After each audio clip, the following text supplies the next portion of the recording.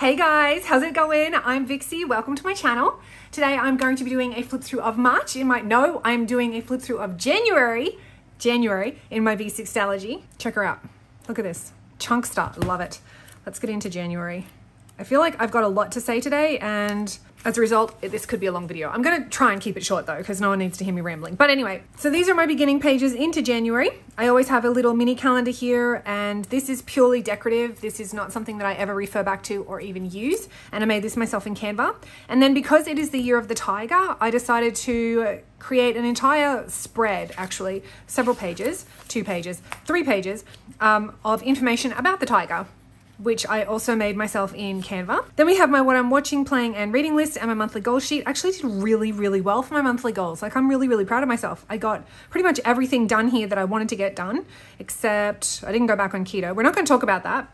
I did not go back on keto. As for my reading list, I picked up a couple of new books uh, in January. I started reading a, a, Court of Frost and Starlight. Didn't uh, finish it. I haven't DNF'd it. I just stopped reading because I just wasn't in the mood, I guess. I just wasn't I just wasn't in that mind frame to be reading that series again. I started a new book called Curious and DNF'd at 20% because it was just terrible. And another one called Popstar, which is like a super trashy romance, and it's my favorite sort of romance actually.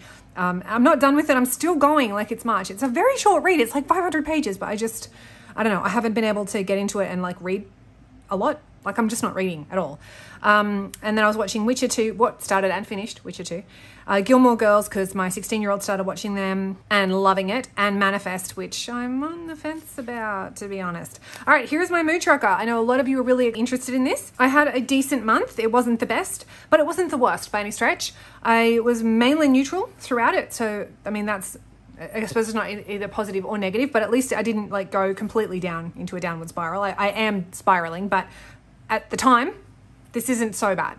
Right, my mood reference page. This came in so handy because now as I flip back, I can see, okay, I had a, a rough couple of days here. Why was that? So I can look on the 6th it started around the 6th. I can look on the 6th and say, oh, okay, this was when we had our house inspection and the realtor who came in, she didn't come in wearing a mask. At the time we had mask mandates, we don't now, but at the time we had mask mandates and social distancing and all of that. But she came in wearing no mask. She had the sniffles and she was trying not to cough like in an obvious way.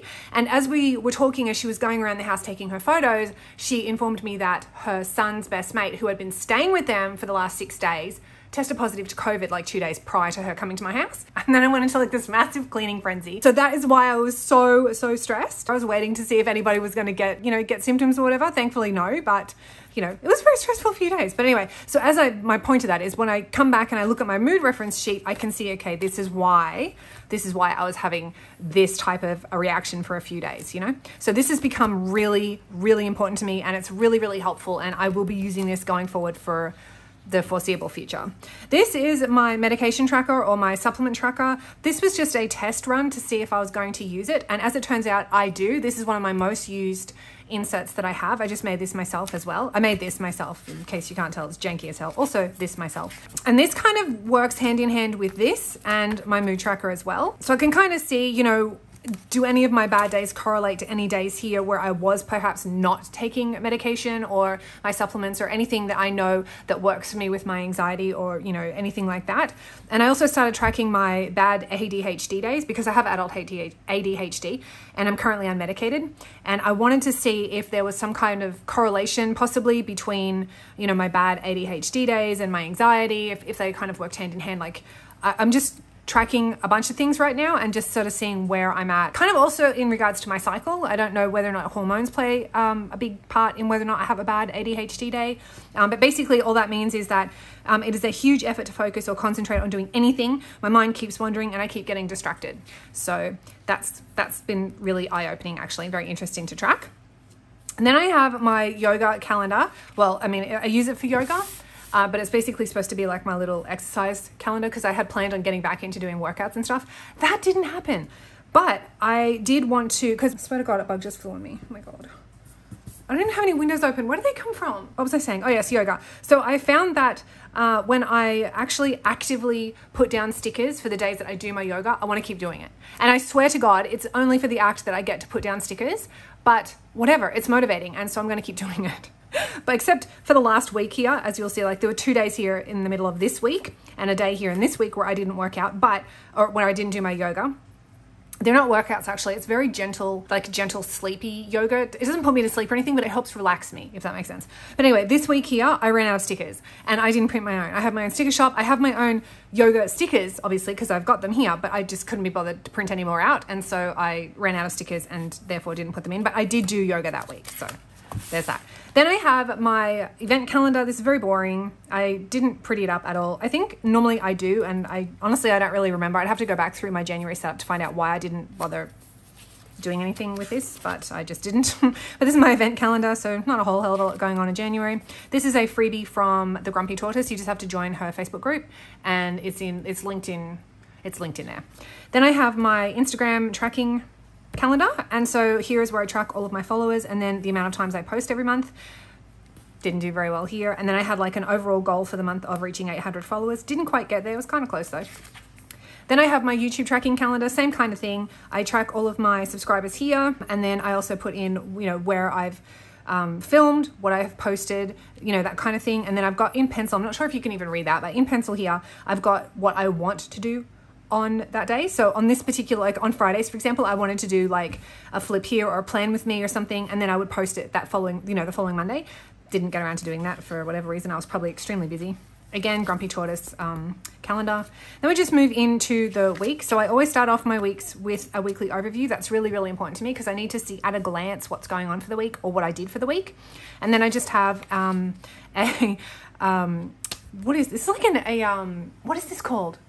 Illuminati eye, which I printed out. I just printed this on some glossy paper that I had laying around, and I printed this vellum, like, I don't even know, just I had some purple background image or something. I'm pretty sure I just found that on Google. So I just printed out the Illuminati eye and put it on the vellum, which I then tipped in. And then I put a acetate overlay which I made myself, which actually the foiling looks really good on this. There's only a couple of little black spots, but nothing I'm mad about. So, I, but I really, really just really like how this turned out.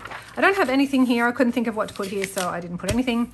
And then the first week, so I did change up my layouts. I just want to sort of change it up a little bit because I wanted to go back to using a time daily. This did not work out for me at all. I just didn't have enough space to write down all of the crap that I wanted to write down. Um, so this was my high anxiety day when the realtor came out. Um, still trying to work with the small time daily. It really just wasn't working. I really like how this page turned out though, but I'm pretty sure it's just because I, what's word I'm looking for? Not diligent, but I was really good about my writing and I was slow and I didn't like just try and scribble everything down. Um, but I just like how it all turns out. I think my writing looks really good on this page. From here down though, like from here on, it just gets terrible. Like as you can, hi, it just, it gets really bad. This is the second week now, and this is another little dashboard and um, I don't even know, splash page thing that I made myself. So I just printed this. Um, this was just another background that I found off Google somewhere, and it's just it's meant to be galaxy themed. Um, so I just printed that onto vellum and stuck it in, and then I have my hiking through the galaxy alien dude. I just printed that on like glossy paper, put it in, and then I have my star acetate. This is the very badly foiled star acetate that I did myself. I don't know if you can tell, but look at that. Can you see the black on that? Where the toner didn't adhere to the foil properly. Dreadful. Um, this kit is from Plan So Cute, I want to say. This is one of her mini kits. It's really, really cute. Um, this washi is Simply Gilded. The little snail is Layla's Loft. The AMPM and this little working girl here. These are all from Plan So Cute as well. Plan So Cute is like a printable Etsy store, so you, everything that you buy there you can just print out yourself, which is great for me because I like to do that. Um, and here is kind of where it just got like meh you know. Um, I didn't even bother coming back to Friday. Here is kind of where I started. I think this is the point where I started to just be like, yeah, I just really just CBA. I just don't want to do any of it anymore. I'm just tired of it. I'm sick of it. I'm like on a downward spiral around this point of my life. And you'll see that now going forward. So as you can see, my writing's just getting terrible. But also um, I went back to using a big timed daily, like all the times down the side here, and then just giving myself a little column here on the side, you know, on the right hand side to write in, you know, things that I need to get done or I have done or whatever. Um, this was a good day. All I did was draw. It was great. but this is just not working. This is not working for me at all. I really, really wanted it to work. So here is where I pretty much just give up on my journal. Honestly, I don't want to do anything at this point. I don't want to sit down with pretty stickers or anything. I don't want to sit down and plan. I just want to write my ish down and check it off and be done. Really excited on this day. I got Hollyberry and Kingdom Cookie Run, Kingdom Run Cookies, Kingdom. What is it? Cookie Run Kingdoms. Oh my god, that took me way too long to remember. I play this game every single day, multiple times a day, and can't remember the name of it. Again, like nothing. I've just I'm trying to stick down stickers like randomly here. I don't. It just doesn't make any sense. Here, I just wrote down my personal wide ring setup because I changed it up again, and I needed to write down, you know, the different category, not categories, but the different sections and what I was going to put in the sections and everything.